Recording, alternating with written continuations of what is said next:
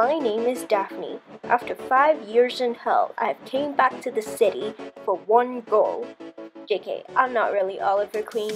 But yeah, I travel around the world a lot, make a lot of photos and videos, but I never post them.